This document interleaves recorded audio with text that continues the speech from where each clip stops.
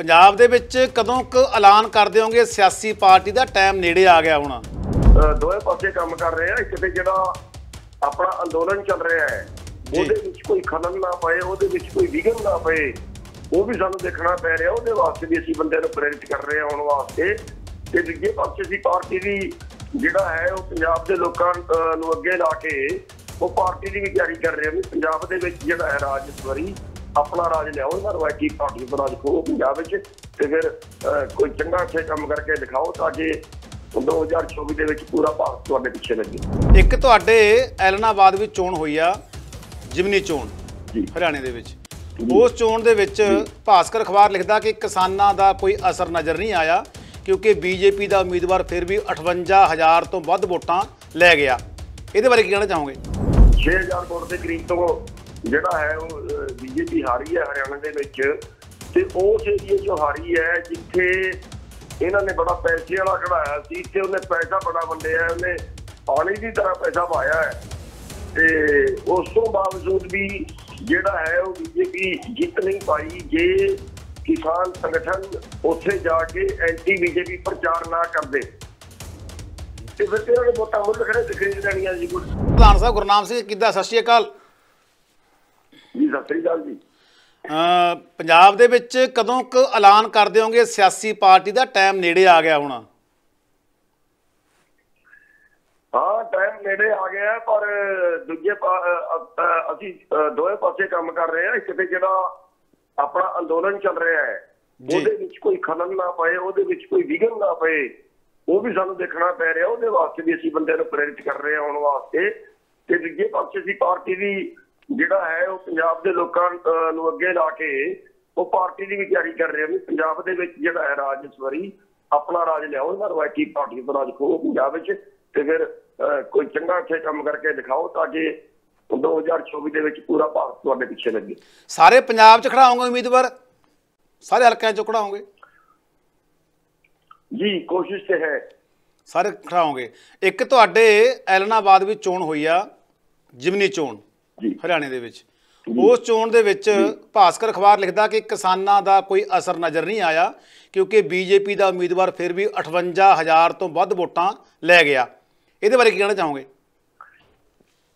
ਦੇਖੋ ਜੇ ਤੁਸੀਂ ਇਤਿਹਾਸ ਚੱਕ ਕੇ ਦੇਖੋ ਸਭ ਇਲੈਕਸ਼ਨ ਸਰਕਾਰ ਕਦੇ ਨਹੀਂ ਹਾਰਦੀ। ਹੂੰ।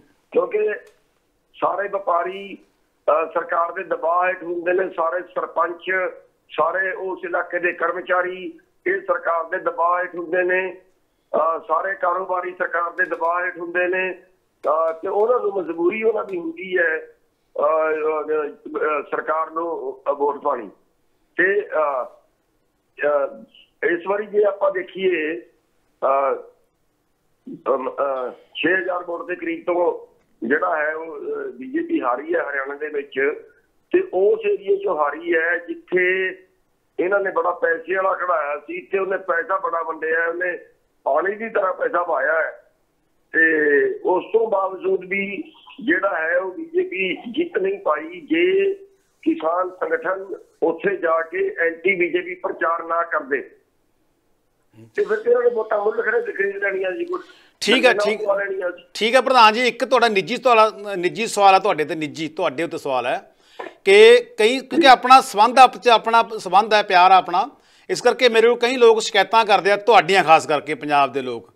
ਉਹ ਕਹਿੰਦੇ ਆ ਕਿ ਗੁਰਨਾਮ ਸਿੰਘ ਝਦੋਨੀ ਸਾਡਾ ਫੋਨ ਨਹੀਂ ਚੁੱਕਦੇ। ਉਹ ਕਿਸੇ ਪੀਏ ਨੂੰ ਫੜਾ ਦਿੰਦੇ ਆ ਤੇ ਪੀਏ ਗੱਲ ਕਰਕੇ ਪਰਾਂ ਛੱਡ ਦਿੰਦਾ ਹੈ। ਕਿੰਨੇ ਕੁ ਬਿਜ਼ੀ ਹੋ ਗਏ ਤੁਸੀਂ? ਹੁਣ ਤੁਸੀਂ ਲੋਕਾਂ ਦਾ ਫੋਨ ਵੀ ਚੁੱਕਦੇ ਹੁਣ?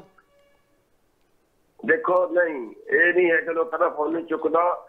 ਤੁਸੀਂ ਇਹ ਦੇਖੋ ਮੇਰੇ ਕੋਲ 4000 WhatsApp ਰੋਜ਼ ਆਉਂਦਾ ਹੈ। ਹੂੰ। ਤੇ ਸੈਂਕੜੇ ਫੋਨ ਰੋਜ਼ ਆਉਂਦੇ ਹੂੰ। ਮੈਂ ਕਿੰਨੇ ਕੁ ਚੱਕ ਸਕਦਾ ਵਾਂ? ਹਾਂ। ਮੇਰਾ ਜਿਹੜਾ ਪੀਏ ਹੈ ਉਹ ਚੱਕਦਾ ਹੈ ਹਰ ਫੋਨ ਚੱਕਦਾ ਹੈ। ਤੇ ਜਿਹੜਾ ਕੋਈ ਰਹਿ ਜਾਂਦਾ ਹੈ ਨਹੀਂ ਚੱਕਿਆ ਜਾਂਦਾ ਉਹ ਬਾਅਦ ਵਿੱਚ ਉਹ ਨੋਟ ਕਰਦਾ ਹੈ ਬਾਅਦ ਵਿੱਚ ਮੈਂ ਬੈਕ ਕਾਲ ਕਰਦਾ ਉਹਨੂੰ। ਹੂੰ। ਮੈਂ ਉਹਨੂੰ ਬੈਕ ਕਾਲ ਕਰਦਾ ਵਾਂ। ਇਹ ਨਹੀਂ ਹੈ ਕਿ ਫੋਨ ਕਿਸੇ ਦਾ ਨਹੀਂ ਚੱਕਿਆ ਜਾਂਦਾ ਹਰ ਫੋਨ ਅਟੈਂਡ ਹੁੰਦਾ ਹੈ। ਜੀ। ਲੋਕਾਂ ਨੂੰ ਚਲੋ ਲੋਕਾਂ ਨੂੰ ਲੋਕਾਂ ਨੂੰ ਪਤਾ ਲੱਗ ਗਿਆ ਵੀ ਤੁਸੀਂ ਬਿਜ਼ੀ ਬਹੁਤ ਜ਼ਿਆਦੇ ਹੋ ਹੁਣ ਇਹੀ ਗੱਲ ਤੋਂ ਤੋਂ ਪੁੱਛਣੀ ਸੀਗੀ। ਧੰਨਵਾਦ ਪ੍ਰਧਾਨ ਜੀ।